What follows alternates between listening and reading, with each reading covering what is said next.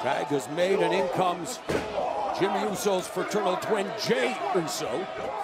Double team, the kings of the double teams as they're called, the Usos, but Jordan lands on his feet, tag made, in comes Gable. Oh,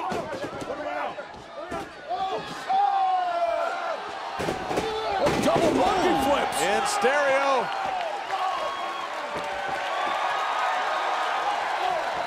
American Alpha building momentum in this eight-man tag team match, but Jey Uso immediately turning the tables on Gable. Gable going for that armbar over the top rope.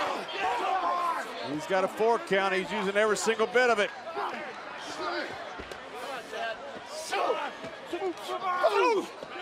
Series of forearms to Jimmy Uso. Oh, the chop block on that injured leg by Jey Uso. I thought it wasn't going to happen again. It just did. Chad Gable is down and hurt. Gable. Here he goes. Takes the tag, and here comes Heath Slater. Boot to Jey Uso. Former Golden Gloves champion of West Virginia. Oh, the running high knee. Oh, Leg lariat. my man, he's on a roll. Heath Yeah, Slater and baby. Fuego. Goes for the cover. Side press. Konnor in to break it up.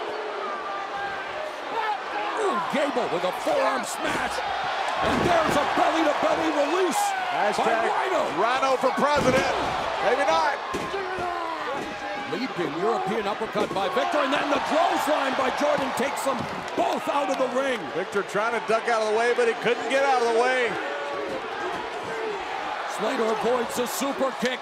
Tag was made. Slater for doesn't see it. Connor roll. Oh, and a big boot there by the legal man, Jimmy Uso. On the button. Ah! Double team. They take out the left knee of Heath Slater. Same thing they did done to Chad Gable. Oh, no. Uh-oh, the tequila sunrise here for the Usos. Arm trap, single leg, Boston crab, and it forces Slater to tap.